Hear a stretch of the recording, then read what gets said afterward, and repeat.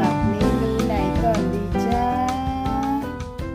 ต้มยำกุ้งน้ำข้นค่ะ กับหอยลายผัดพริกเผา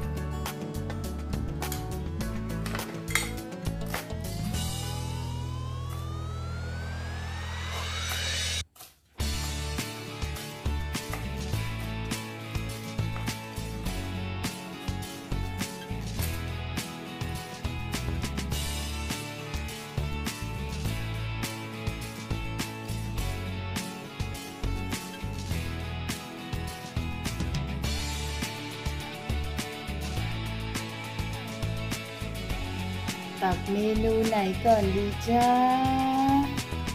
ต้มยำกุ้งน้ำข้นค่ะ กับหอยลายผัดพริกเผาพริกเผาพริกเผา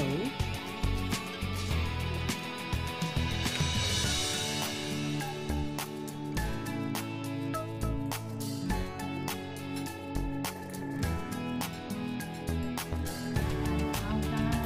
เริ่มจากอะไรก่อนดี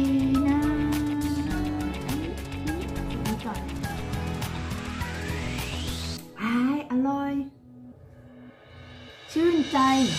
อยากจะบอกว่าจริงๆอะปกติแล้วเกดไม่ค่อยทำนะ ต้มยำกุ้งน้ำข้นเนี่ยส่วนมากจะทานน้ำใสเนาะแต่ว่ามีแฟนเพจคนนึงค่ะ บอกว่าอยากให้เกดทำต้มยำกุ้งน้ำข้นเกดทำแล้วนะ เกดแปะสูตรไว้ให้นะคะ วิธีทำเนี่ย